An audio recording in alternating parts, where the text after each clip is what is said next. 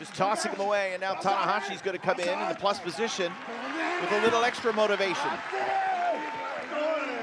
Of course, Kenta was on the lineup for New Japan versus Noah last year and had to miss that night, miss that match because Tanahashi put him on the injured list. You still see the results in the scars on Kenta's back. Yeah, this is a much more focused and driven Kenta when he's opposite Tanahashi. Permanent reminders of what happened two Wrestle Kingdoms ago on the body of Kenta as they trade forearms centering.